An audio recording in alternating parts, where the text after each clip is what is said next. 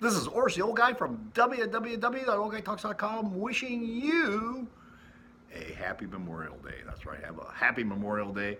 Uh, I know a lot of people do a lot of different stuff, go to movies, watch sporting events, uh, barbecue, visit with family, drink lots of alcohol, and do all sorts of other things.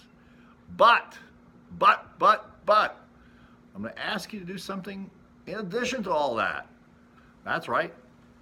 Actually, take a few minutes to commemorate what Memorial Day is all about. Now, for those of you who don't know, historically Memorial Day started as a tradition sometime after the Civil War to honor the people that died in battle. In 1971, actually not that long ago, it doesn't seem that long ago, uh, it became an official national holiday.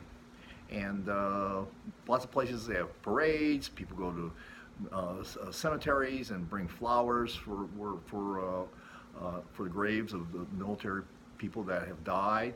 And at 3 o'clock local time, wherever you are, there is a national moment of observance. Many of you may not know that. I didn't know that until just recently, until I spent a little time doing a little research for this video. That's right, a little research for this video.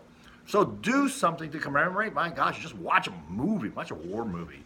Uh, there was a time that we, me and my queen, we used to do that all, like spend the whole day watching war movies, um, just to uh, commemorate and to pay respects to those that paid the ultimate price and gave up their life so that we have the opportunity to have the freedoms that we have. Yes, the opportunity to be an asshole or whatever it is you choose to grow up and be. This is Oris, the old guy from www.oldguytalks.com signing off. And remember, it's all about creating a kick ass life for yourself and those that you love.